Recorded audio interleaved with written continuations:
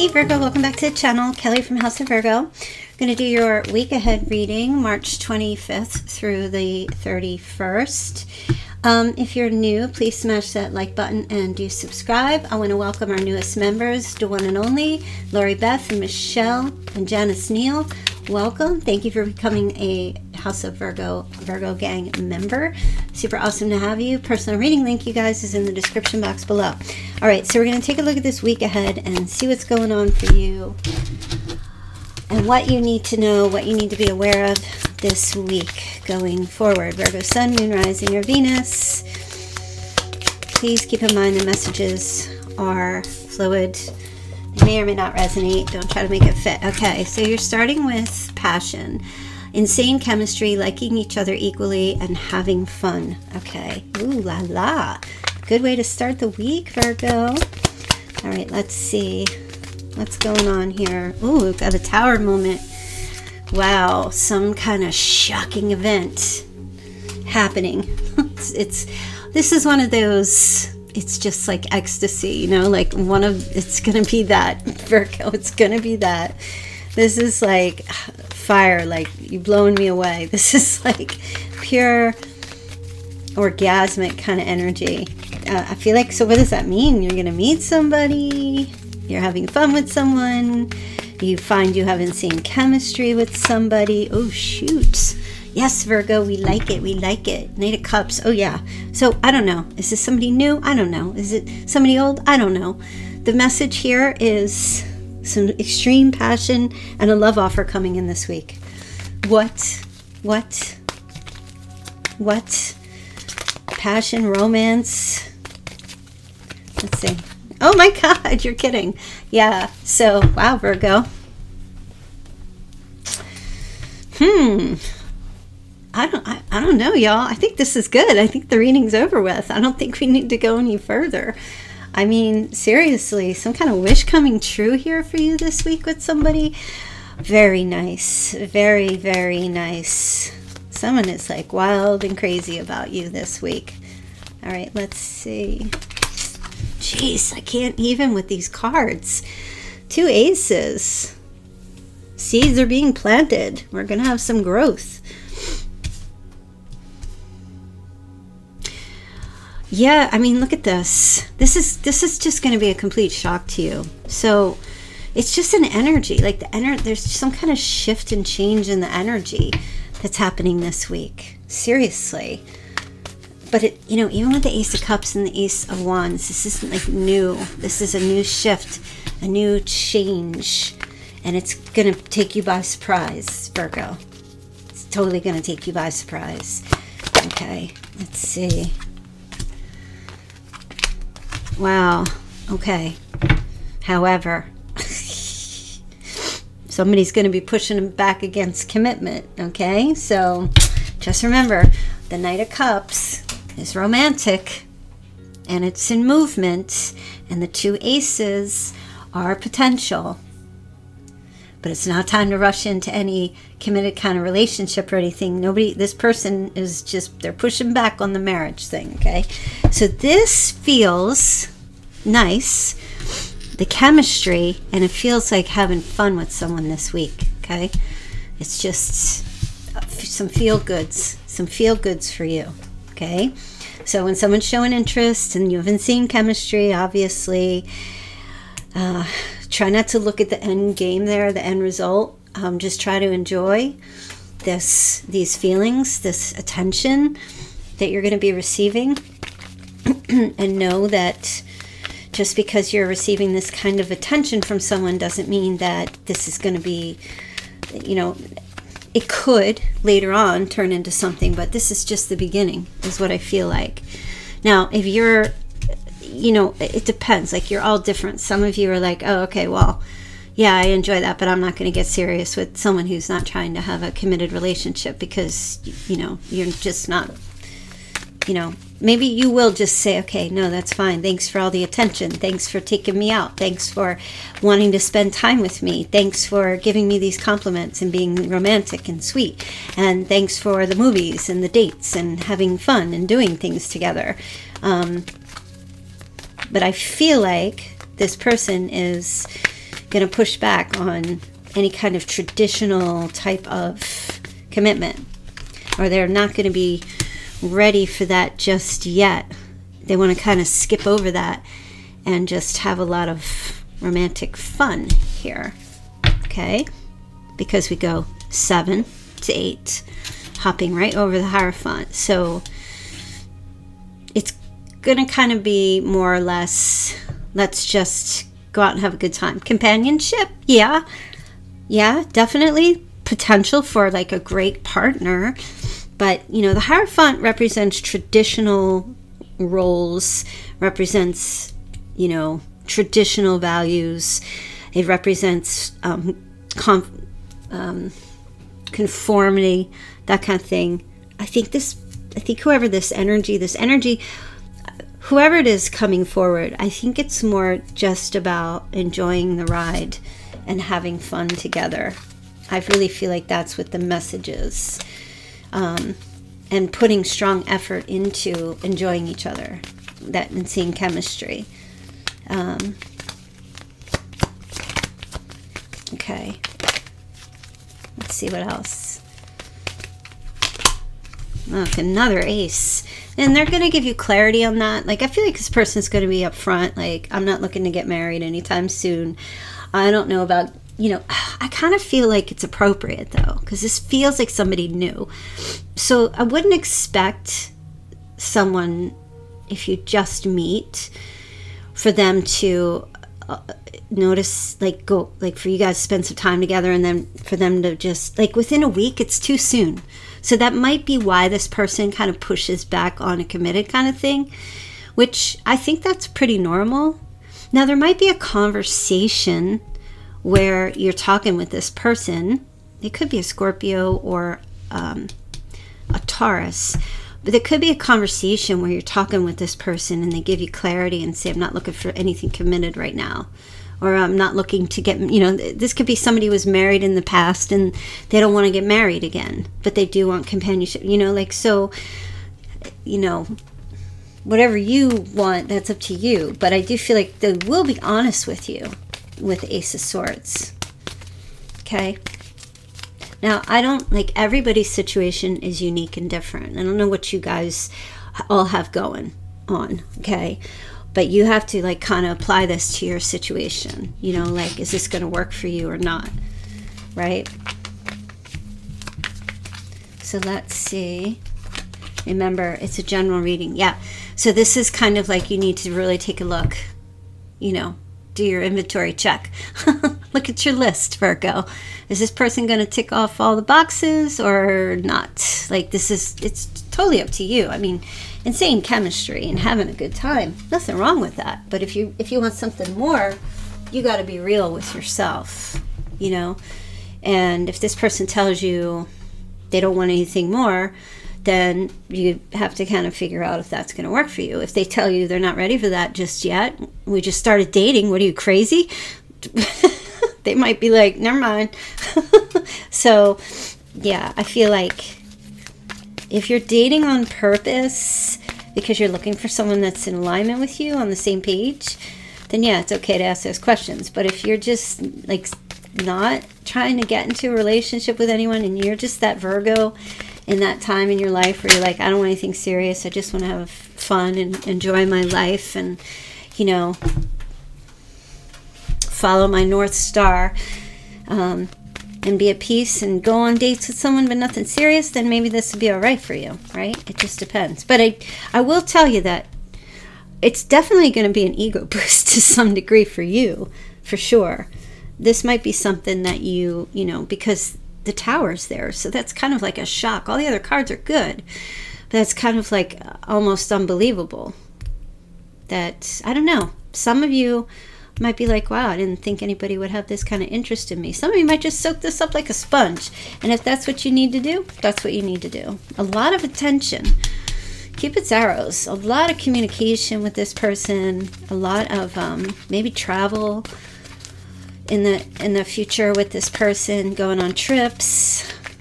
Going places. There's great potential. Okay. Page of Swords here.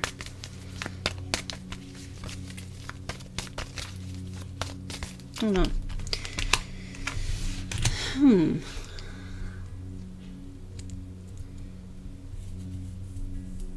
Oh, okay. Some of you are going to meet. Now, this is, for some of you, this is um, a professional baseball player at one point in their life. You're going to meet them or you already know them. And they are like retired or, you know, they're not such a big deal anymore. Maybe all they have left is their name. They were a star at one point in their life. So they could be one of those people um, that were kind of like a big deal at one at one point maybe in the past or they're just maybe people know who they are but they're not they're not current current level fame they don't have that kind of thing going on um, that was that message that just came to me it might even be like i don't know they're giving me like sam from cheers. Remember he was a baseball player and then he he he left baseball because he's a drunk. He like got kicked out of baseball or something and then he owns a bar.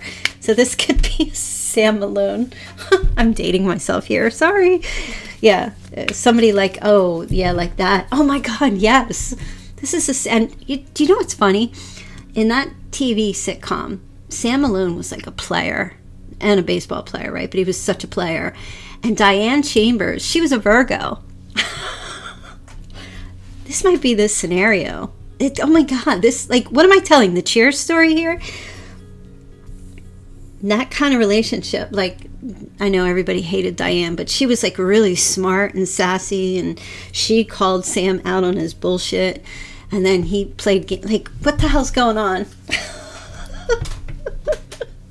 it's amazing i you must think i'm weird I, am i getting weird in, in my old age am i doing too many tower readings what's going on i'm losing my brain here but yeah this is the this is the situation. Sam was not a committed kind of guy. Every time he would agree to commit, Diane would just leave him like no. All right, stop. Enough. Get on with the reading. I know. I hope if any of you are in your twenties, you have no idea what I'm talking about, probably, and that's okay. Maybe you do, but I know my older crew, my Gen X and Boomers. I know they know what I'm talking about. Um, okay, so that's kind of what I I feel is going on here with this person. Like they have some level of fame, but they're not a big deal anymore, but they can't commit. They would just rather kind of just enjoy their life and have fun, insane chemistry and passion. Person's turned into like a loner. We get the Virgo card here. This person's kind of like a loner. They don't have a lot of money and they have a lot of great heart aches. That's why they're not committing just yet. King of Cups here. Is that their first court card? Well, besides the Virgo card here, yes. Cancer, Scorpio, Pisces. Uh, kind of a loner. They got a lot of losses. They have more outs than they do. They have more strikes than they do wins. More outs than they do wins. Not a lot of balls.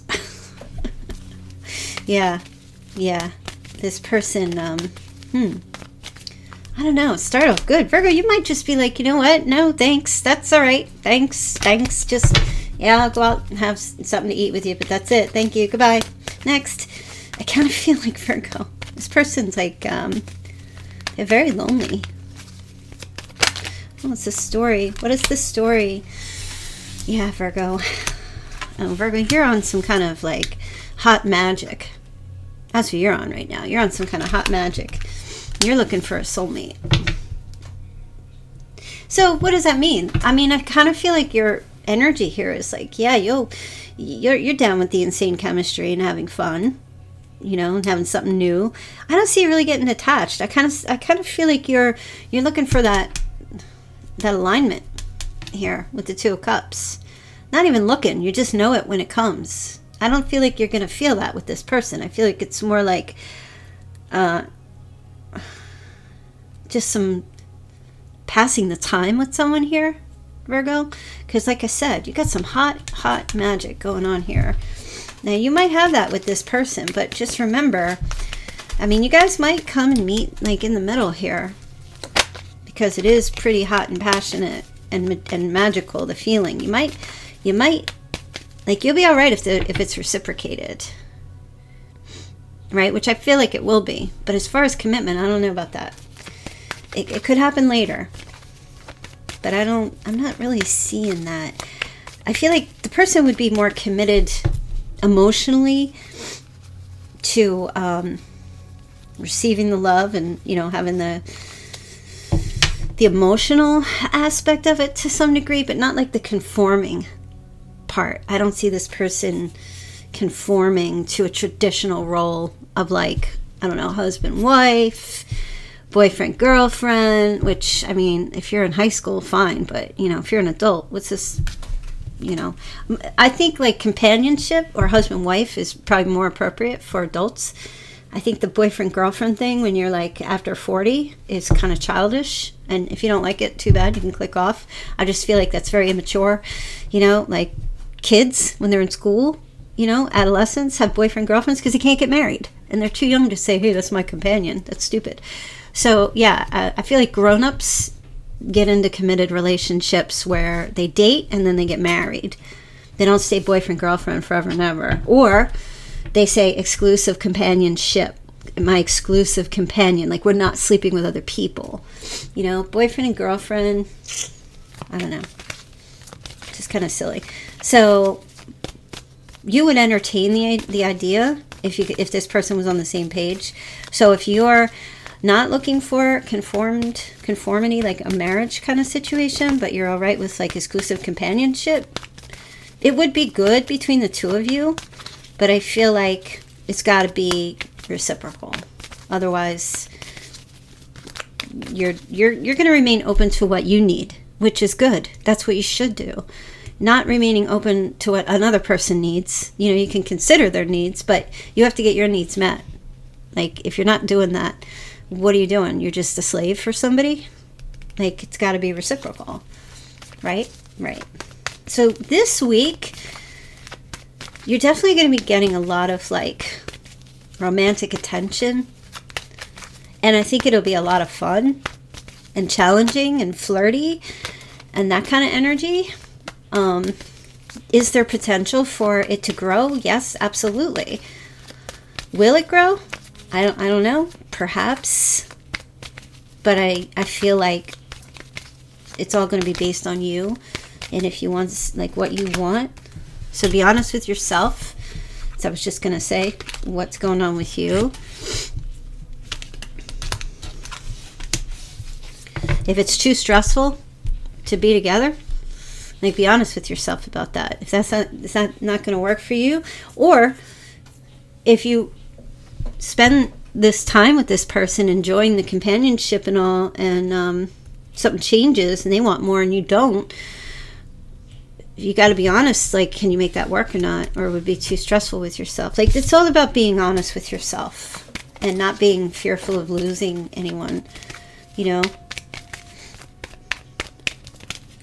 And even if it means that you need to compromise to some degree because you don't want to lose someone, be honest with yourself about that too.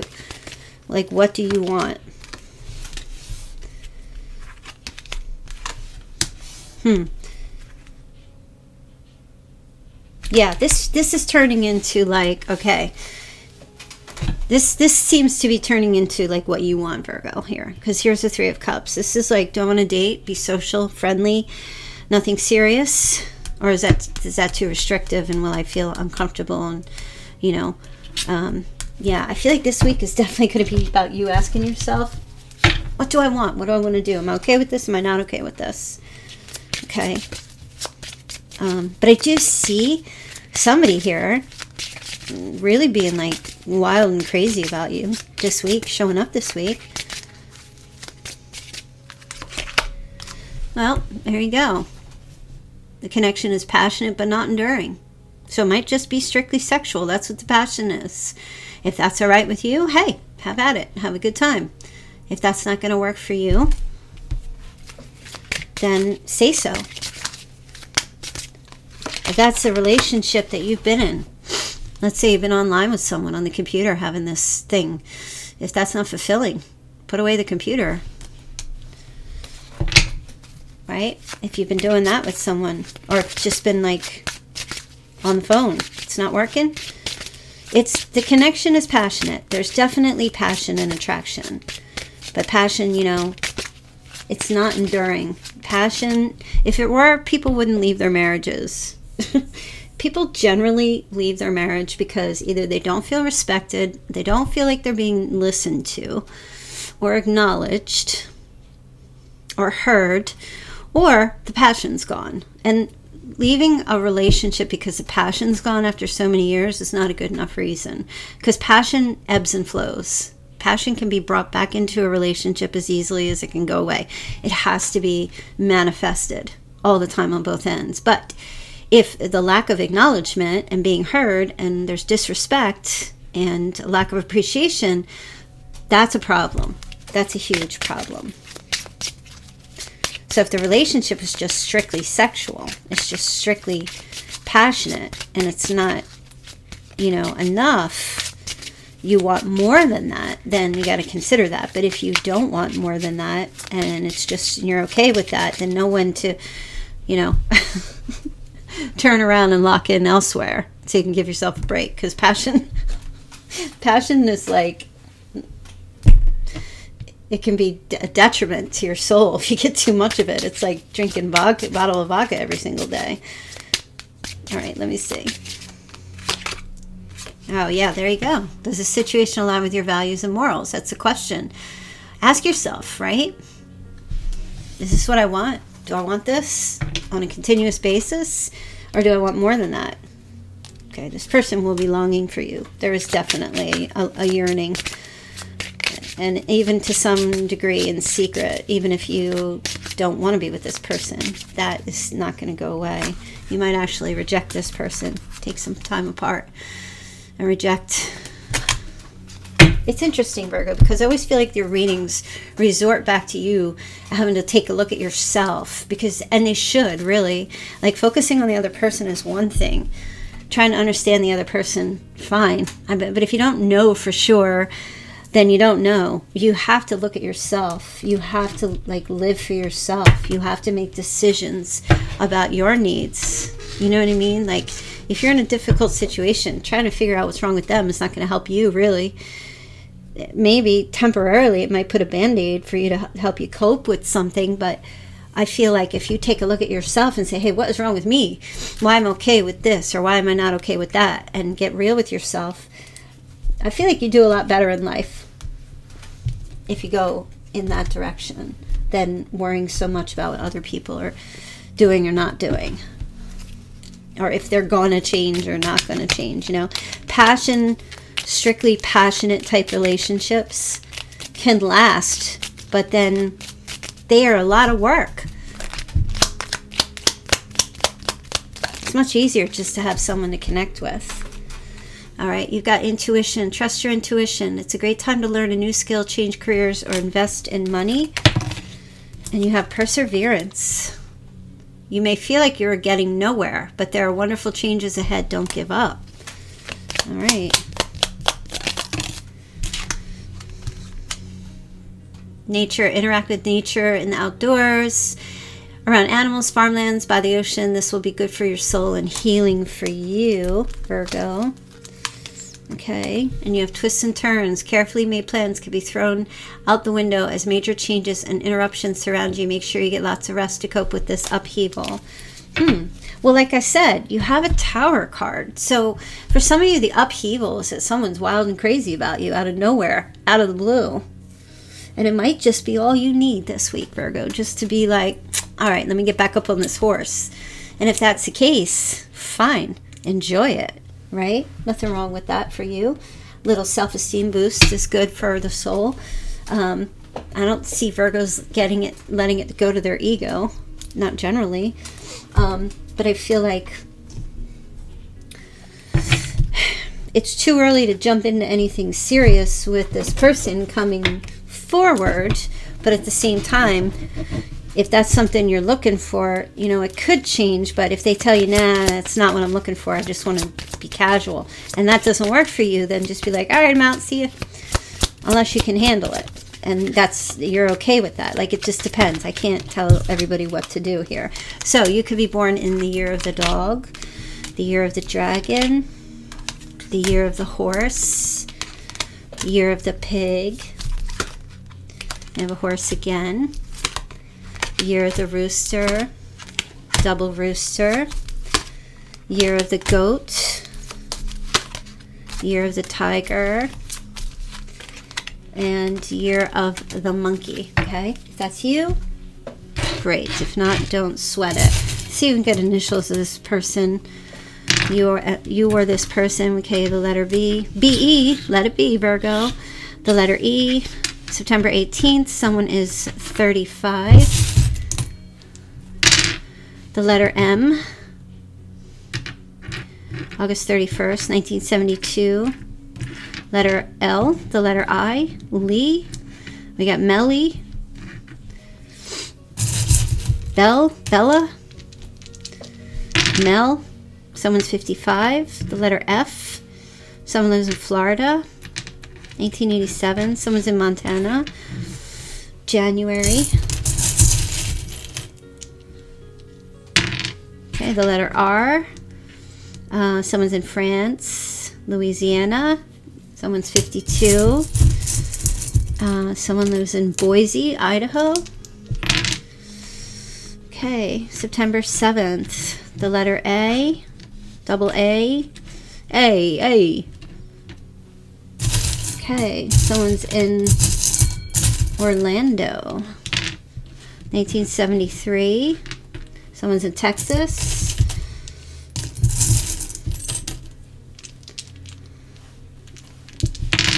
Okay, 1962, September 20th. Someone is 48.